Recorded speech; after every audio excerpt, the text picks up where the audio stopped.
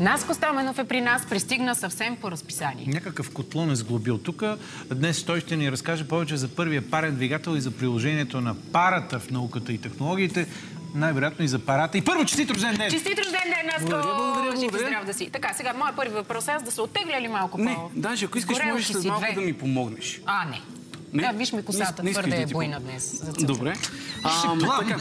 Ей, тук това, което сме оставили е малко неща, които да се нагряват, да, да кипнат. Тоест ти наистина Така че- направи котлон. Един Да, да, да, да. Изкарал съм едно котлонче, даже имаме и две горелчици.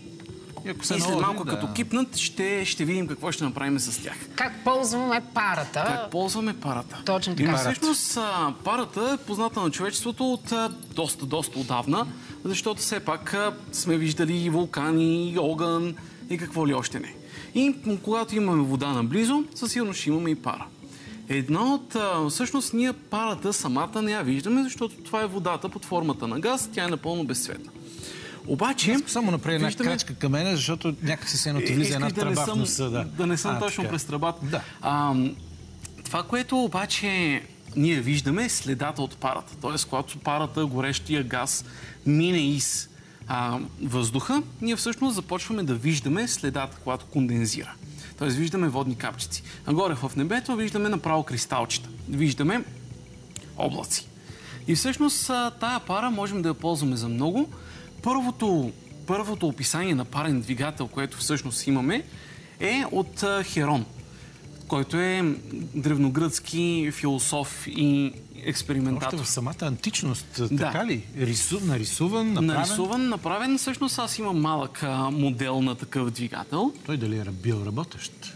А Хероновия двигател е много простичък и няма как да не работи. Като тук това, което имам, Добре, сега мога да ти помагам. Какво трябва да правим? да, сега трябва А да сега хванеш е. ето това. Ами няма нищо, което може да така избухне. Надявам се. Не, не, просто го Нали нещо няма да Не, не за момента. След малко. Наско, стига не. Няма, няма да Добре, хвърчи. какво е това? Обяснявай. То Това в момента, което имам, е кенче, което е много специално кенче, защото има капачка.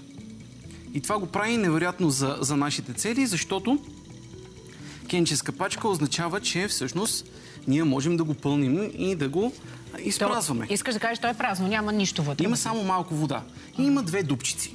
И тия двете дупчици са ни изключително важни, защото тия двете дупчици ще ни позволят, когато го нагреем достатъчно, от него, се дръпна. от него да излезе водна пара И тази да завърти пара кенчето. да го задвижи. Тези двете дупчици са сложени една, не точно една срещу друга под някакъв ъгъл. И освен, че са под някакъв ъгъл, самите дупки също са под някакъв ъгъл. Така че в момента, в който почнем да произвеждаме пара, Ето, тръгва. това. Кенчето! Тръгва! Защо се пали и сега? почва да се върти. Това е просто горелката ми. Не, обаче. Така, и почва да се върти. Не почва да излезем от студиото.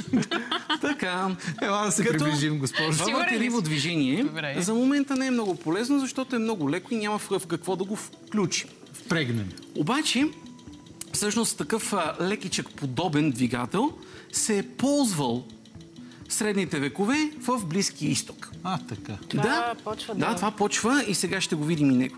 И се е ползвал за въртене на дюнерче. А, така. Тогава не е имал дюнер, моля ти се. Все някакво въртене има. Някакво Джиро- въртене. Джирос имаме от, а, от поне хиляда години. Кой е по-смелия от двамата в този екип? Винаги Ти, разбира се, само така, ти. Това е само водичка, така че всичко ни е наред. Окей. Първият истински парен двигател. Това обаче мирише. На какво а, мирише? На сокчето, което е било вътре. А, добре. Не му се плаши. Така, сега. Това става заради разширение на парата. Тоест парата се разшири, излезе през дупчиците и ние видяхме резултата от това движение. Сега обаче ще направим нещо друго. Ще видим какво става, когато парата се свие. Когато парата се свие. Затова в едното Ракия. кенче Това ще се случи. Нали, сега, важно е да отбележим, че водната пара, 18 мл течна вода, стават на 22 литра водна пара. Чакай, Тоест, чакай. ако чакай, свия чакай, чакай. 18 мл течна вода, стават на 22 литра водна пара. 22 литра. Да. Това означава, че в кенчето в момента, понеже врат, а, имам само единствено пара. И сега ще охладя тази пара. Да! И кенчето веднага имплодира. Хайде да го видим това и с Ама по-голямото по-бавно, чакай ние тук. Няма да камерите можем. какво мислиш? Няколко да фащат. Така Момент, че сега да, да хванем Какво по-голямо. трябва да гледаме? кенче. Обясни.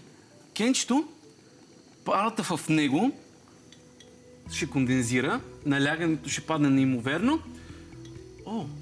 А, и а, това, което ще стане, атмосферата ще свие. Айде, гледаме тук в, е, Гледаме това. в купата. Три, две, едно. И всъщност така работят по-модерните парни двигатели. Този измисления от Newcomer а, преди ВАТ е работил точно така. Имало е един цилиндър с бутало, цилиндър е пълен с пара, охладите се, парата кондензира, буталото тръгва надолу.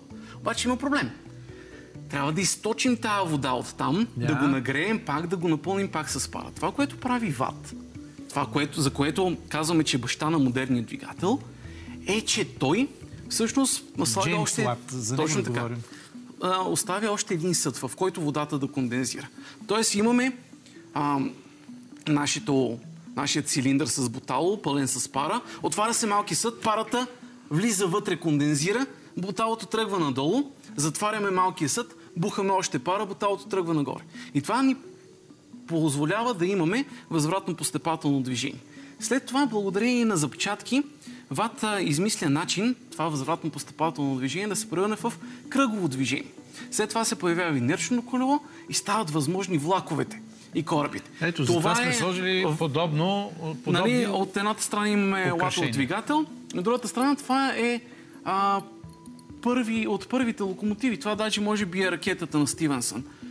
Макар, че има това голямото отстрани се нарича а, Чакай, кое наричаш това колело. голямото? Кое е голямото? Кръглото Това. колело, което не, не, уж не движи нищо, това, Това. е инерчно колело.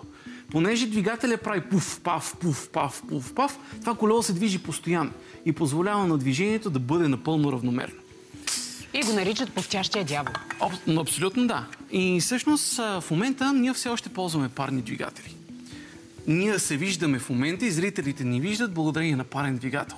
Защото турбините на тецовете и на АЕЦа са това, което произвежда ток. Тоест ние греем вода, правим пара, тази пара задвижва турбини. И тия турбини а, задвижват а, магнитни оси, които се въртят в а, намотки или по друг начин, но въртенето прави електричния ток. А пък сега имам да ви покажа... тази серпентина. О, тази серпентина е много специална и тук ще ми трябва малко помощ. Заповядайте, колега. Така, смелостта се стопи Сега, с а, първата лампа. Само, че ще помоля, за разлика от друг път, този път да ми се застане от а, тази страна. И това, което правим е трябва да нагреем тази серпентина. Виж как хубаво ще си сложа огнеопорката. Служи си, служи си. И сега ще направим прегрята водна пара. Водата в София кипи при около 98 градуса по Целсий. Защото сме на около 500, метра, метра. На, Във Варна кипи на 100. на 100, да. 90 и колко? И 8. 98 плюс И аз съм го мерил, вярно е. Така. Обаче водната пара и тази вода, докато не изкипи, се е 600 градуса. Обаче водната пара лимит няма. И сега ще се опитаме да я направим много, много, много по-гореща. Така че хващаш тази горелка и нагряваш И точно тук. Държа. Айде, И готово. леко мърдаш. Аз нагрявам, не, наляво надясно. Наляво надясно. А пък аз нагрявам отгоре. Леко така, наляво надясно, по, по-близо до серпентината. Така. Да. Така. Добре. Какво трябва да гледам? Гледаме тук. В момента имаме мокра пара. Мокра пара. Тази пара, мокри хартия, мокри нас, има 50 на градуса температура. Обаче ние постоянно помпаме допълнителна топлина вътре в серпентината. Парата се загрява и постепенно става толкова гореща, че ние вече не я виждаме. Не я виждаме, защото вече е над 120 градуса и въздуха не може да я охлади. Щом не я виждаме, аз ще сложа наблизо хартийка и хартийката е студена. И виждаме балон, а, пувче пара. Обаче ако продължа, ако продължим да я нагряваме, това, Да. което ще стане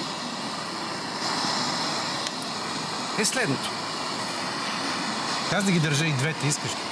Това, което ще стане е, че хартийката постепенно, само единствено от водната пара, започва да прогаря.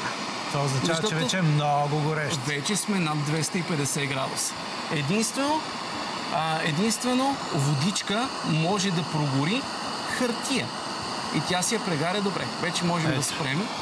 да нагряваме, да изключим горелките.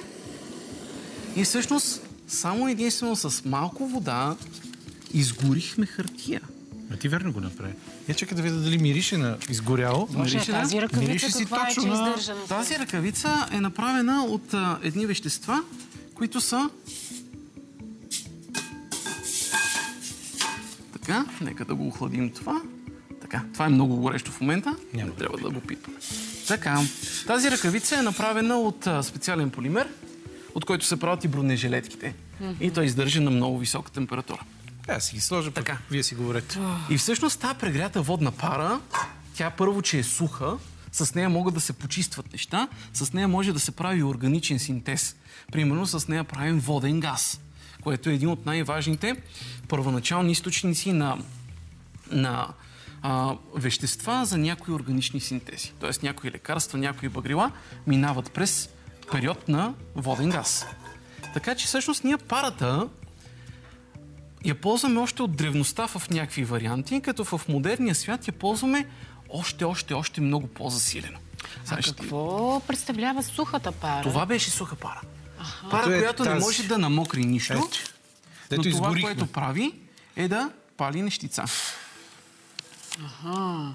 Така, аз ще го охладя това. Явно охлаждаш, да. Да, защото имах, имам навика понякога да го хващам, защото е приятно синьо. И това ми маха кожата на пръстите, а пък не искаме да стигнем до там. И а, тази суха пара а, се ползва и за дезинфекция, правилно? Защото са много Тя високи е градусите. над 250 градуса със сигурност. Да, и Няма всичко. градина, която да оцелее, нали така? Да. И налягането също. И налягането е високо. Ние всъщност, а, първо, че тук имахме някаква пара, която излизаше под налягане. В момента, в който нагрявахме, тя се разширява допълнително. Тоест налягането става още по-високо. Добре. И сега какво, какво, какво каза, че ще правим? Вземи ръкавицата. А, взехте ръкавицата, за да си а, тази работа. аз мисля, че тук нещо Но. ще се случва. Последното нещо, което ще ви покаже, е всъщност един експеримент, който сме виждали вече. Водната пара може да се използва и като ракетен двигател. Тоест, ако си произведем на място, което прилича на ракетен двигател водна пара, можем да си я ползваме, за да изстрелваме неща.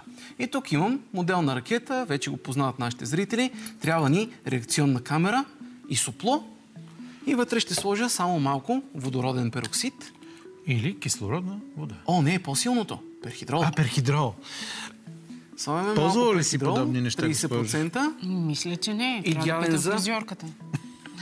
Идеален за изросяване. Момент. И сега ще е разпаден този водороден пероксид Аз ще на те вода снимам. И кислород. Ще има ли Повторете. бао ефект? Повторете. Ще има пуф ефект. Ще разпаднем. Ще разпаднем Да. малко водороден пероксид Да. от тази колба с помощта на калиев пермагнат на вода и кислород.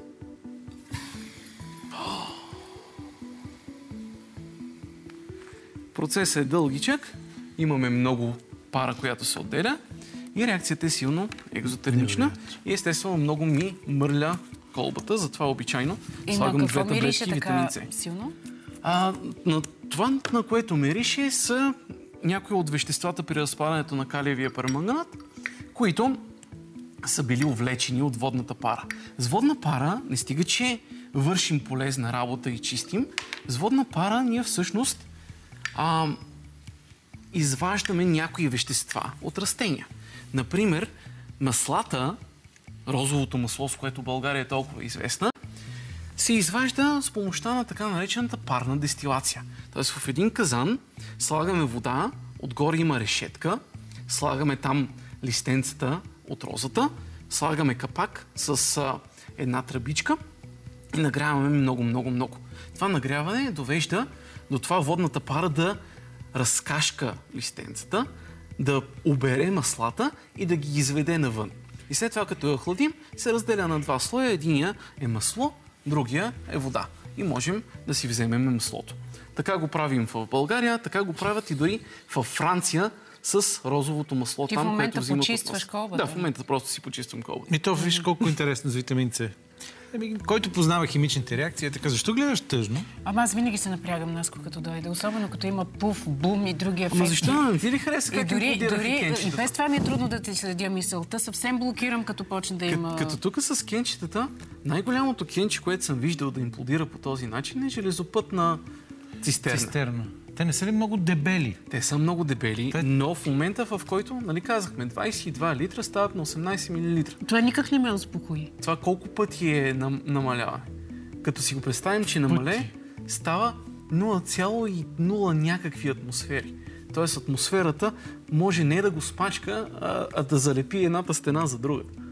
Освен това, никога не знам тук тия неща, да почва да мириш на тях, всъщност какъв ефект имат върху психологията. По-добър от Софийски. Те вече добре се оказват върху теб. Наско, много ти да. благодарим.